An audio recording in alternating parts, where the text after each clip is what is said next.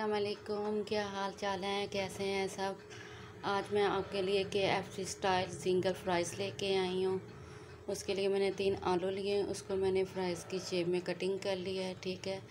ये लहसुन का पाउडर है वन टीस्पून मिर्च हाफ़ टी स्पून थोड़ी सी हल्दी है, ठीक है? और चुटकी नमक।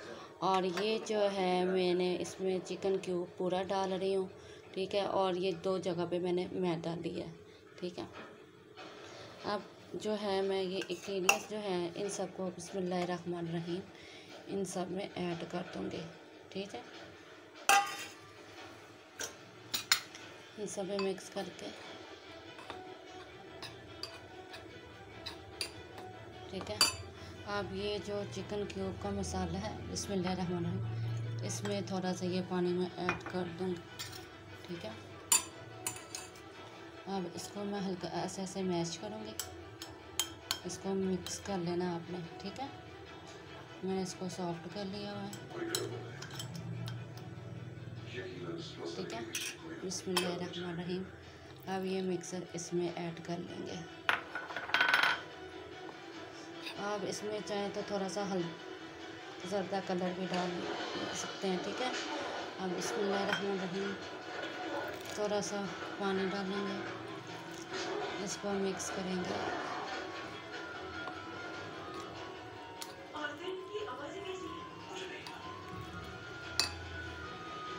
अच्छी तरह मैं और पानी डालूँगी।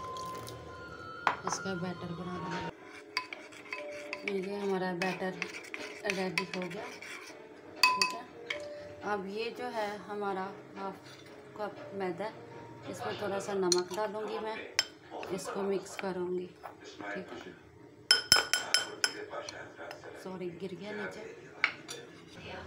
बिस्मिल्लाहिर्रहमानिर्रहीम फिर से अब हम एक फ्राइज़ पकड़ेंगे, इसमें डिप कर देंगे। ऐसे इसको डिप करेंगे, ठीक है? ये देखें।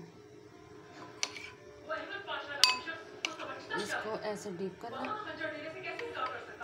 फिर यहाँ से इसमें इस मैदे में कोट कर देना हमने। ठीक है? फिर ऐसे इसको अच्छी तरह इस तरह की इसकी शेप जो बनेगी, ये लेयर बनेगी इस तरह से, ठीक है? ये सिंगल स्टाइल बन गया, ये देखें। ये लेयर देखें आप। ये देखें ये देखें लेयर ये देखें।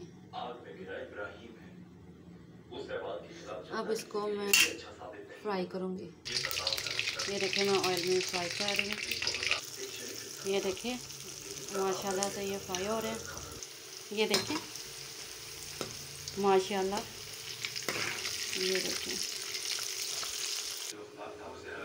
ये देखिए, माशाल्लाह माशाल्लाह। ये देखें क्रिस्पी जिंगर फ्राइज माशाल्लाह। ये देखिए। माशाल्लाह। मैं अभी सब आपके सामने निकालती हूँ। ये देखें। ये देखें।